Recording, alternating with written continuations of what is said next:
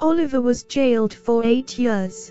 He was from a very wealthy family from the United Kingdom so going to prison was a disgrace to his entire family as they had a large property empire and lots of money. Oliver regularly attended Royal Ascot and Wimbledon where he would rub shoulders with other elite rich people and also celebrities. Oliver was a charismatic man who was always the life of the party but sometimes when you have too much alcohol to drink trouble comes with it which has led Oliver down a dark path and now he is doing time in prison. After being sentenced to eight years in prison Oliver broke down crying in court as the guards led him to the van ready to be shipped out to prison. Oliver was no tough guy and was not built for prison. He was a snobby rich kid who went to private school and never had a fight in his life so he was really worried about getting bullied or beaten up by other prisoners. Oliver just assumed guys don't get turned out in UK prisons because getting turned out in prison was just an American thing so Oliver pretty much didn't even think about it at all.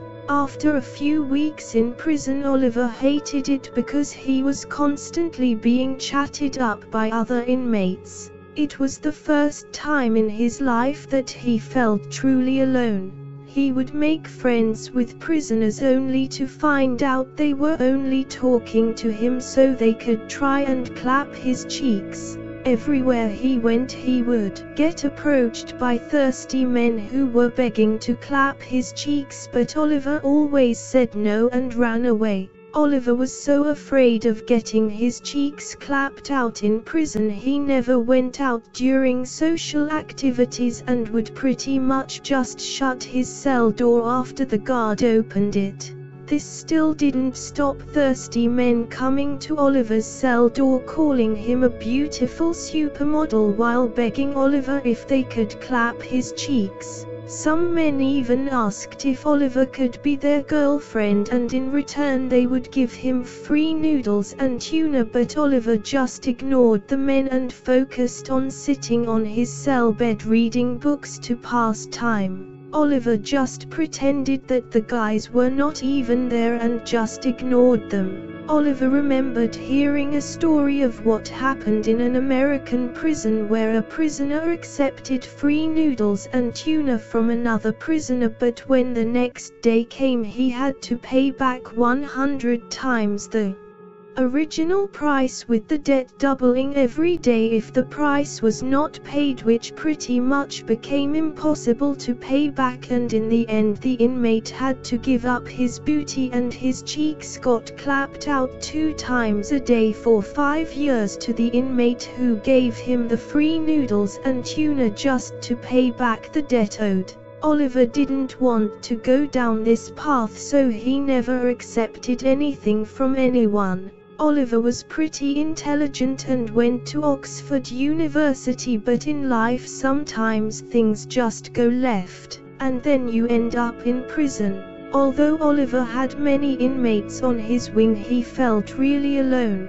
He didn't understand what was so special about him and why every inmate was so hungry to clap his cheeks. So far it didn't happen so Oliver was safe.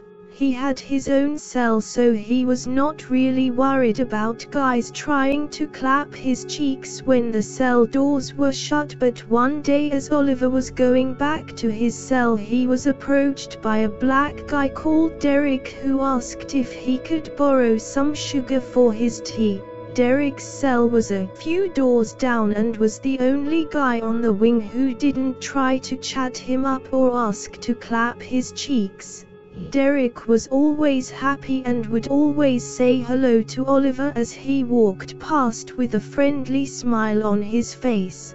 Because of this Oliver didn't mind helping Derek because he wasn't like the rest of the men in the prison plus he might make a new friend in the process. Oliver was still confused why Derek would ask him for sugar because he could just walk to the canteen and get sugar for free.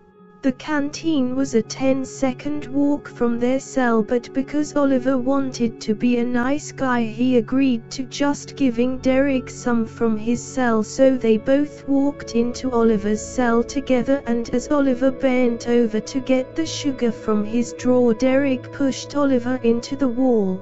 Oliver hit his head really hard and was injured. He got up dazed and confused and that's when Derek changed from being nice to being nasty. He told Oliver you are going to give me some chan chan now as he pulled an object from his pocket. Oliver was afraid and tears started pouring down his face. He begged Derek not to clap his cheeks but Derek wasn't listening and wanted his cheeks right now. Derek pushed Oliver onto the bed and unzipped his trousers ready for some action. Oliver begged Derek not to clap his cheeks because he was not gay. Derek laughed and said I'm not gay either. Oliver tried to get off the bed and that's when Derek backhanded him back onto the bed. Oliver was in serious pain as he held his face. Oliver was in big trouble because he was only 5 foot 10 and skinny while Derek was 6 foot 2 with big muscles.